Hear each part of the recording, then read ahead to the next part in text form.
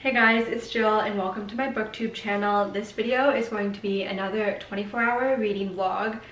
I've done this two other times. and both of those previous times, it took me literally a month to film those. I don't want to take another month to do this video, so I'm hoping that I can do this in like four-ish days.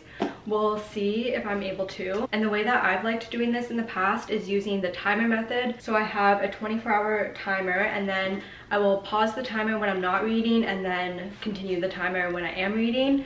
And it does take a little bit longer than just doing 24 hours of course consecutively but i feel like this way allows me to read some more books and i don't know i've just done that in the past so i'm going to continue that way this is going to be a spoiler-free reading vlog so any of the books mentioned i will not be talking about any spoilers i'll kind of just talk vaguely about the things happening in the book or anything that is like within the blurb on the backs. So I'm going to get started with To Kill a Kingdom. I've gotten a few chapters in, I'm on page 85 and I'll be honest, I'm not super drawn into the story yet, so I don't have too much to say about it, but I will do an update very soon.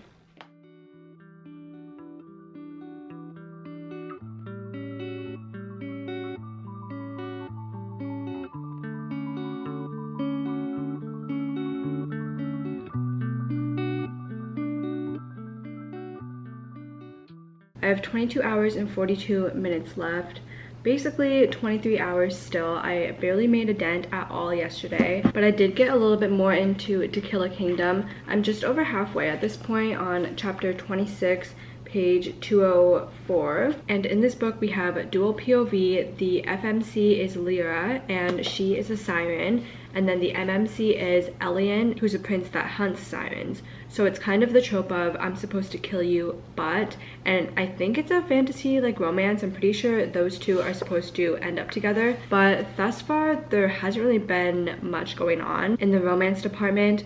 But at this point, there's kind of more of that forced proximity. So I feel like that might happen sooner than later. Lira is forced to become a human and her mother, the sea witch, is it called the sea witch? No. The sea queen sorry. She transforms her into a human as a punishment for doing this bad thing. And in addition as another consequence she can't use her singing voice anymore which i guess for sirens is kind of what lures people into being close with them and then the sirens can kill the humans or whatever. So she can't sing anymore but at first i was a little bit confused because i thought she couldn't speak at all like in the little mermaid movie in tale but she can talk, but she just can't sing. So Lira has to captivate this Prince Elian and kill him to prove to her mother, the Sea Queen, that she isn't a traitor, essentially. Um, I've honestly been finding this pretty slow and a bit difficult to connect to the characters. I feel like it'll probably be around the three star range that I end up rating this one. There's been a little bit of training scenes between the FMC and the MMC, which I feel like some people really like in fantasy romances. But thus far, I personally just don't really see the chemistry between Lira and Prince Elian, which I did expect that I would by this point because I don't have that much left of the book. I have like, I don't know how many pages it is even. Maybe like 350-ish. And on page 205 4 so i have only like 150 pages left and i just don't think they're really that great together. I don't know. I did consider at one point potentially dnfing this but i think i'm going to push through and just finish it off so that i can get this one out of the way and start another one. Or actually i have a few books on the go right now so i'll probably just continue one of those ones later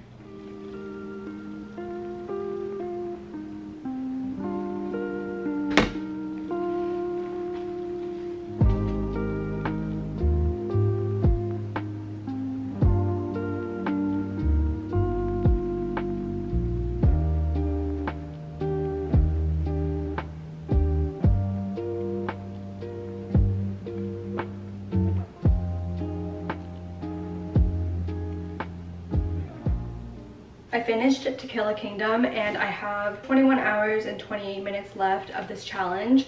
I honestly just was not a huge fan of this book overall. There was a reveal at the end which was pretty inevitable if you kind of know the story of The Little Mermaid and I just thought that it kind of fell flat and it was also very sudden and kind of random it seemed like. I also anticipated that her inability to sing and use her siren powers was going to be way more of a problem than it ended up being. I feel like she only mentioned one time how she couldn't use her siren voice or whatever and just the romance was not doing it for me. I didn't see the connection between the characters. I felt like they didn't even really spend that much time together. So unfortunately, this wasn't the best book to start off this video with and I'm going to rate it a two and a half star, I think.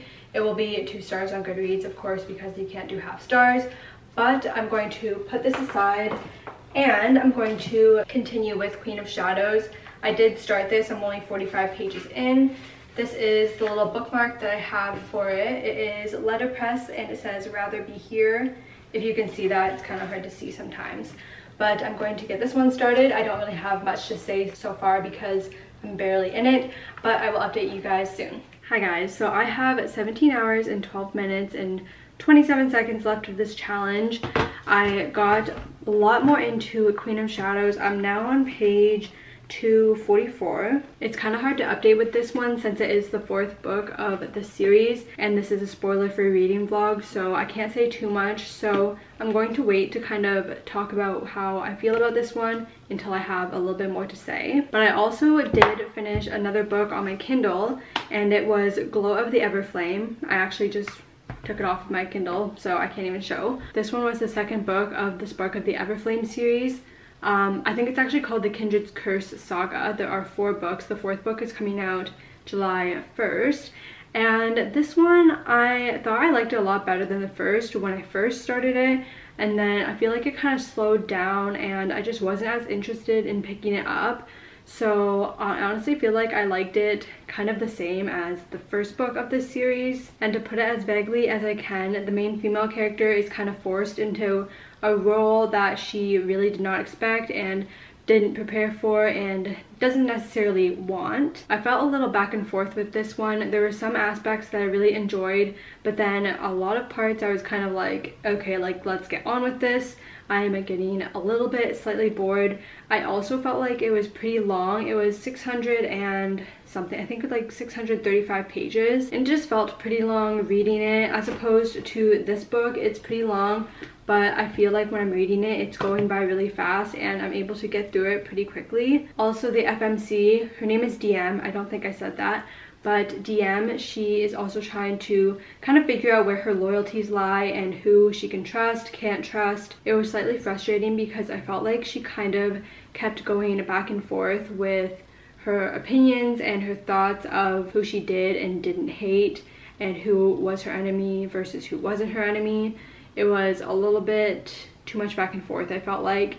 Also, in terms of the love triangle, it was very obvious to me, based on her inner monologue, who she was going to end up with and who wasn't the man for her. So I felt like, I don't know if there was supposed to be kind of more mystery or like who's she going to choose with that one, but it was pretty clear as day who the choice was going to end up being. And this book on Goodreads does have the tag for fantasy romance. So I anticipated that there'd be a good amount of romance, but honestly, I feel like it's been a little bit too slow burn for me. And after two books, you think it would be kind of more clear with their relationship. Sorry if that's too much of a spoiler. I'm trying to be pretty vague about things. There was a fighting scene though that I did feel like was well done. I didn't expect what happened. I knew what the outcome would be, but how everything played out was not the way that I expected it was going to be. So that was a good part of it. The ending also was a good cliffhanger and it was also pretty surprising. It kind of makes you unsure of which characters you can trust and it makes you question what's really going on behind the scenes with this one mission of this one group in particular. Overall though, I'm giving it three stars and I'm not really sure if I want to continue with the series or not. I feel like I'll take a break from it for now and maybe I'll go back to it later. I'm just not super into it. And for both book one and two, I think I gave them both three stars.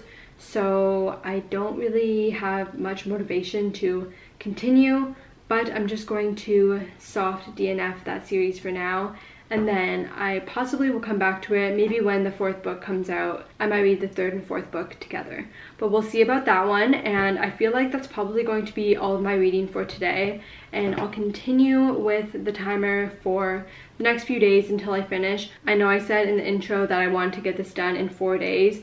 And I swear I said that in another video when I did this 24 hour video. In the past, I said the same thing about wanting to finish it in four days but it's just like so hard to do unless you literally sit down and do nothing else which I feel like I need to eat and walk my dog and do other things that are like also important so I can't just like literally read for 12 hours straight or for like six hours straight even in one day. Anyways, that's over explaining it. More of the story, doing the timer method with this, at least it always takes me longer than I want slash expect. So it is a challenge for sure. But I will talk to you guys soon with my next update.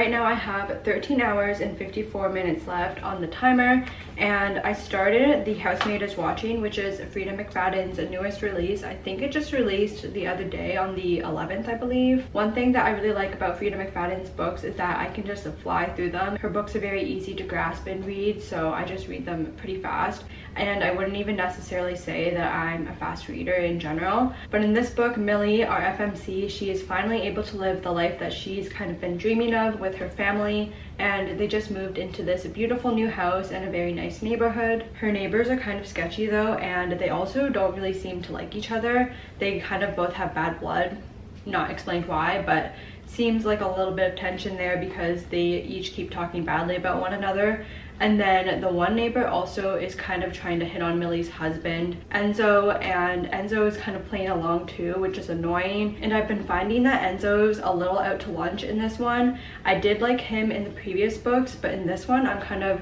finding myself really annoyed with him. There are a few instances where Millie is treating their housemaid not very nicely, similar to how Millie was treated when she was a housemaid. And there are moments where she's kind of acting like the rude wife, which I didn't really expect because she had that experience, so she kind of knows what it's like to be the housemaid on the receiving end but she's still acting that way so it's kind of strange. So far i'm enjoying this and i like how fast paced and how quick of a read this is. I feel like i can definitely finish this today within the next few hours so my next update will likely be when i finish this Hi guys, I just finished The Housemaid is Watching and now I have 12 hours and 46 minutes left of this challenge. I also just finished recording my thoughts on The Housemaid is Watching as well as an outro to my bookish vlog.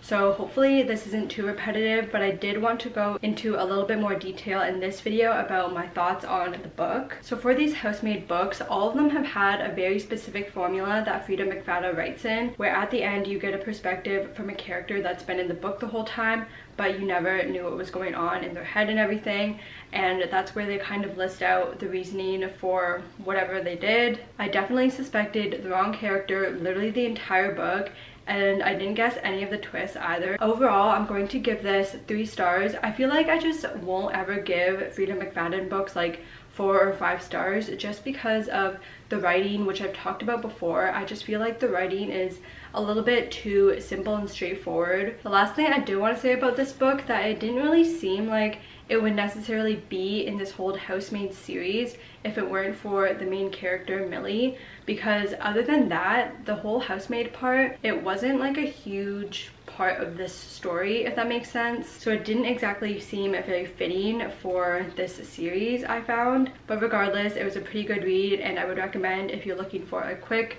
easy to read thriller I think if I read any more today I'll probably just read Queen of Shadows by SJM and I will update you guys more on that when I probably when I finish that book I hit past the halfway point of this challenge and I have 11 hours and 50 minutes left. I'm on page 470 of Queen of Shadows and I'm at a part where one character feels like it's their opportunity to intervene, to do something, which was not part of this whole plan and I just know it's going to backfire and I feel like this character has good intentions but it's just going to be a huge mess and then everyone else is going to have to pick up the pieces of the repercussions and the consequences of this guy's actions and I just don't think it's going to end very well for them. It's also the point of the book where the two separate stories are starting to merge together, which it just barely has so far, but it definitely will very soon, I feel like, in this upcoming chapter.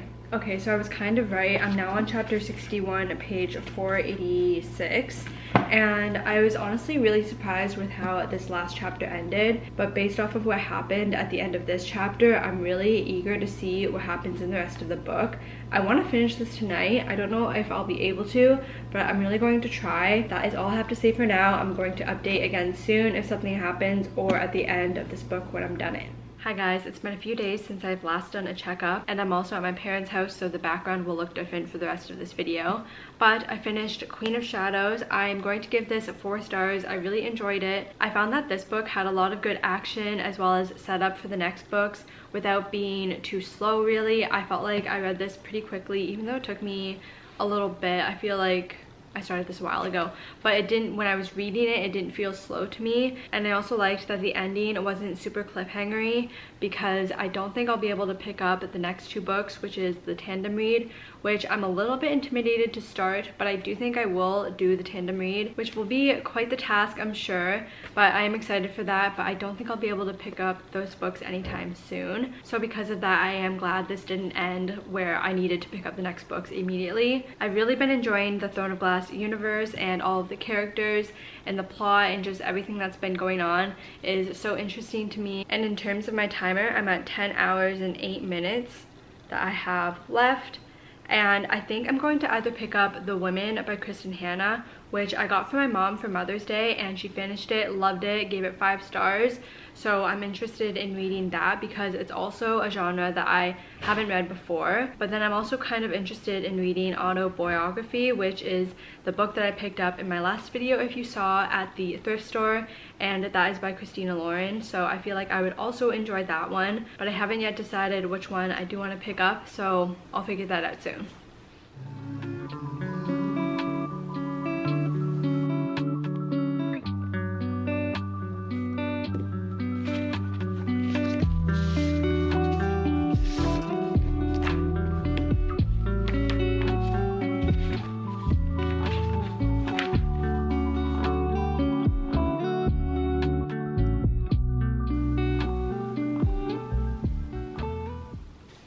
On chapter 12 now, page 198. I'm a little bit, I think I'm actually just halfway through. And with my timer, I have 8 hours and 28 minutes left still. So in this novel, there's the MMC, there's actually two MMCs. There's Tanner, who is like the main character, I would say, more so. But then there's also Sebastian. So Tanner lives in Provo, Utah, and he and his family is not LDS but this area is a very densely populated LDS community. And the other guy, Sebastian, he is LDS. His family is very involved with the church. His dad is a bishop, I think that's what it's called. And Sebastian is this mentor slash TA for the special writing class in high school that Tanner's in. And Tanner's in his senior year of high school. And I'm not sure how old Sebastian is. I think he might be one year older than him based off of like context clues, but I'm not exactly sure. And Sebastian's helping out with this class because he was previously in this class and wrote this amazing book that's actually about to be published very soon. So he's kind of prepping for that as well. I do feel like the relationship was rushed just a little bit. By page 80, they were kind of together at that point, which I felt like was a little bit faster than I would have preferred. And there was also something that Tanner told Sebastian very, very early on. I think it was like their second time meeting, which surprised me because this was something that he hasn't even told one of his very best friends even. So I felt like that would have been better executed maybe if it was kind of later on in the story that he told Sebastian. Other than that, I do really like how Tanner and his family, his mom and dad and sister are just a very tight-knit, close family, and just that he can be so honest and open with his mom and dad. A topic that's pretty prevalent in this book, which I mentioned previously, but that is religion since Tanner's mom used to be LDS, but has since left the church, which causes a little bit of confusion and questions of other families and just people in the community because like I said, this area that they live in, most people are LDS. So for the people that aren't LDS, Tanner and his family, it's kind of obvious and they stand out a little bit for the fact that they don't follow the church. So in terms of this writing class, Tanner has to write a novel by the end of the semester, which is four months and he thinks it's really easy, that it's going to be a piece of cake to write essentially. But after he started to write it, he ended up kind of writing a story that pretty much mirrored what he's been experiencing currently, which I'm not sure whether or not that will be a good or bad thing. And of course, he's been getting the help of Sebastian to write this novel, and he's been giving him some input as well, which I honestly feel like hasn't been super helpful with that, but I feel like that's mostly a side plot anyway, so doesn't really matter. With Tanner and Sebastian's relationship, I am a little bit unsure how that will really work but i really hope that they'll be able to figure it out because i think they're cute together and that they would make a good couple. But other than that that is all that i have to say and i'll do a final update once i finish this book. Hi guys. I just finished Autoboyography and i have seven hours and 11 minutes still left on my timer. I feel like this challenge is and i say this every single time i do this but this challenge is so hard because it's just a long time to be reading especially doing it the timer method where you just stop and start every single time that you pick up a book. I think i started this around the 10th of june and now it's the 20th so it's almost been two weeks and yeah this is just definitely a difficult challenge for me every single time. But to kind of wrap up this book there was one thing that happened between tanner and his best friend. I personally just didn't think it was super necessary. And then what happened afterwards was also kind of strange to me so I wasn't a huge fan of that aspect. There were also many things that Sebastian said to Tanner which were pretty frustrating to read at the time but considering the whole situation and the context of everything, it definitely made sense. Overall though, I'm going to give this book three stars and I do feel like it was a good coming of age novel which focused on identity a lot. I would recommend this one. So I still have, like I said, 7 hours and 11 minutes and I feel like I'm kind of in a fantasy romance mood. So I think that I'll pick up A Fate Inked in Blood. I got this one near the start of the year and I haven't picked it up yet. And I brought the copy here with me at my parents' house so I think I'm going to start that one next. Okay guys, I'm on chapter 20 and I'm a little bit more than halfway through this book and on page 224. So with the Fate Inked in Blood, our FMC Freya, she has had magic but her father's told her to hide her magic abilities for literally her whole life until the start of this book when it's discovered that she does have this magic which was gifted by the gods or something or like she contains the blood of a certain god something like that. And the reasoning that her father told her to hide her magic was because he said that if it was discovered then people would use her for her magic essentially. So because at the start it was discovered that she has this magic she is forced into this arranged marriage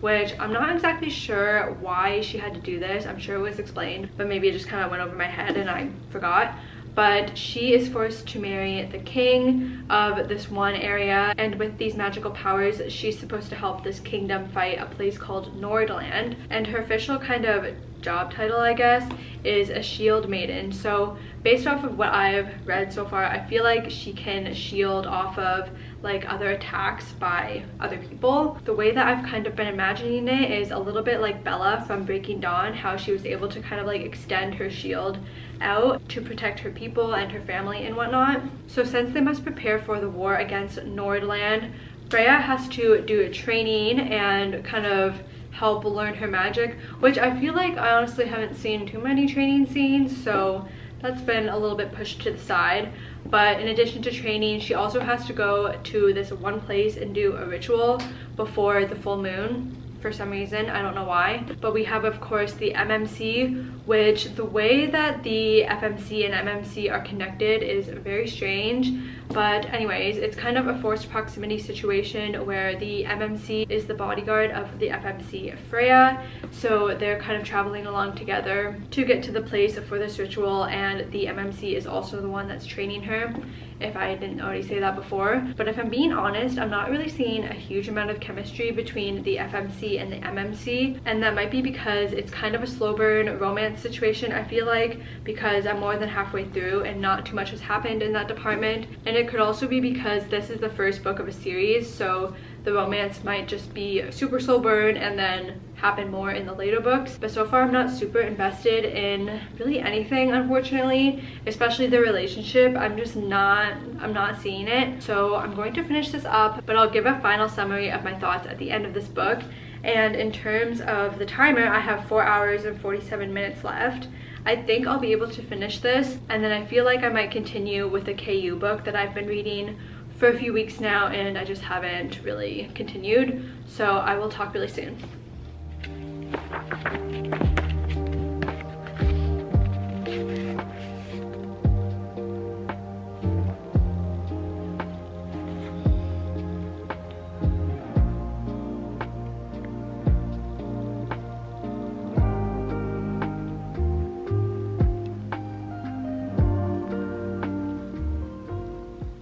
Alrighty, so it's time to wrap this one up. And I honestly did not enjoy this. It was low-key painful to get through. I did consider whether or not I wanted to DNF it, but I kind of just powered through it. But I was really excited when I finished it because I thought there was 440 pages, but there ended up only being 417, I think. But anywho, what happened in here in terms of the romance, it was just so unconvincing. I felt like the FMC and the MMC barely even talked the whole time. And then when the love proclamation came, I was like, scratching my head because I was like, I feel like you haven't even had a full conversation with each other yet. So it just was not convincing for me at least. And I mean, there were some cute quotes, I'll give them that. But there's also a weird quote in there. There's one quote where he says that he wants her to be fat with the baby. It was really weird. But yeah, to say the least, I was not a fan of the romance aspect of this. And even the plot, I felt like it was pretty weak.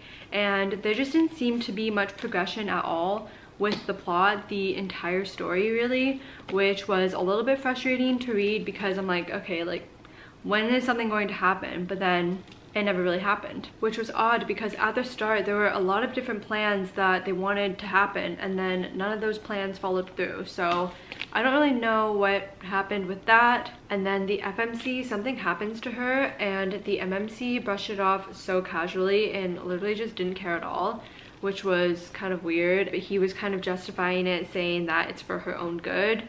But yeah, I was just like not a fan. I will say though, I didn't expect the events that happened at the end, which were a huge cliffhanger. And I don't know when the next book's coming out, but I don't think I'm going to pick it up honestly because I'm just not attached to these characters or the story really at all.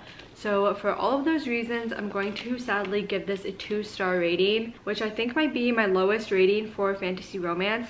So that's super disappointing. But to continue with this challenge, I still have three hours and six minutes left. So I'm going to read on my Kindle and read Love Redesigned, which I'm like 18% of the way through, I believe, 20% of the way through. And I started that, I think, 10 days ago, so almost two weeks at this point. It seems okay, but I'm not like super obsessed with it that clearly it's been almost two weeks at this point since I've picked it up. So I will continue with that though, and it will probably be tomorrow when I do my final update. Hi guys, so I literally have 40 minutes left of this challenge and I did want to do a little update though because I started with Love Redesigned. This was a kind of second chance, childhood best friends to lovers, contemporary romance.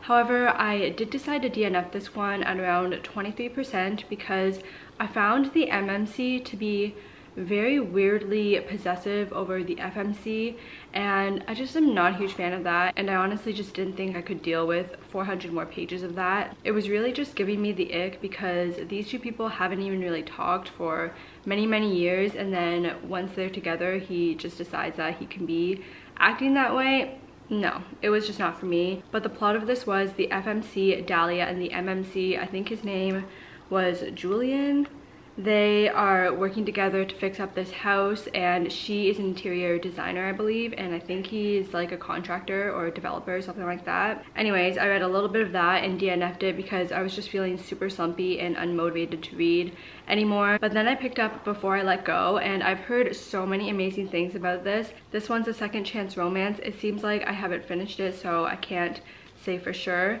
but that's the kind of vibe I'm getting. And the FMC and the MMC previously went through very hard times. There were multiple things that happened to them that were just awful and as a result of those events the FMC had really bad depression which ended up having her to ask her husband for a divorce and at that point they had two kids. So where this story takes place is two years afterwards where they're kind of just dealing with the co-parenting dynamics while also having new situations arise with this whole co-parenting thing and with them being exes and stuff.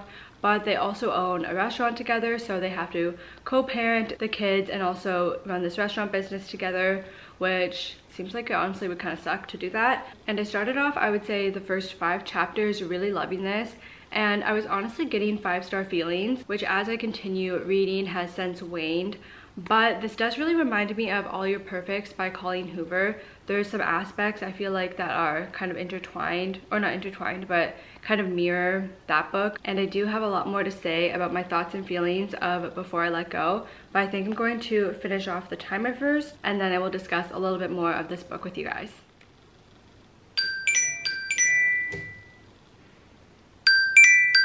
I'm so relieved that I finally finished this 24 hour reading challenge, even though this time only took me two weeks instead of a month for the last two times I did this challenge. It still felt like a pretty long time, but I got 69% of the way through before I let go and I'm going to now tell you how I feel about it. So I like the premise of the story and the plot and I like the main female character. Her name is Yasmen and she just has gone through so much and I feel like she's a very strong character and is well developed. However, I was not a fan of the main male character and I felt like his intentions were always just like based on the physical connection that he had with her and I swear every time because it was dual POV every time we were in his POV he would always make a comment about her body and it just kind of rubbed me the wrong way I feel like. I definitely got sick with reading in his POV very quickly and there were also many things that he said to Yasmen too that I just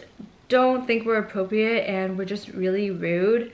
So I wasn't a huge fan of him to say the least and I feel like so far he's kind of ruined the story for me unfortunately and I just honestly don't think that they're really a good fit for each other. Pretty much every time they interact they're arguing about something and if they're not arguing about something they're just thinking about each other in like a physical way which I just think is not enough for them to be together in my opinion. And I feel like they just don't communicate with each other very well. And even now after being more than halfway through this I feel like at this point I should be rooting for the main characters to be together. But he has even in the last few chapters said some things and I'm like why would Yasmen even want to be with him like I just personally don't get it and I'm not a fan of this MMC clearly. But since I haven't yet finished this book in the time that I had, I will talk about my final feelings and do my rating in my monthly reading wrap up. So stay tuned for that. But so far I'm feeling like it's probably not going to be a super high rating just based on my feelings now, which really sucks because I think I mentioned in a previous clip that when I first started this book, I honestly got five star feelings. So I'm pretty disappointed that I definitely don't have those feelings anymore. But yeah, those are my thoughts for now on Before I Let Go. And that is going to be the end of this video. Thank you guys so much for watching this 24 hour reading vlog. If you've read any of the books mentioned, I would love to hear your thoughts on them in a comment down below. And don't forget to give this video a thumbs up and subscribe to my channel for more book content and I will see you guys in a new video next week. Bye!